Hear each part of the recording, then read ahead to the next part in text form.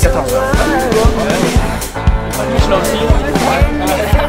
Je l'en